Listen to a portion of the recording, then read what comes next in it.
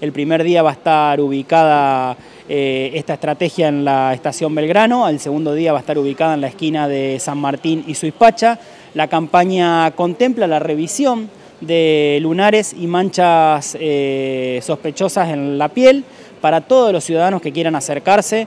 Eh, obviamente es realizado con dermatólogos, que, quienes realizarán bueno, las consideraciones según el caso.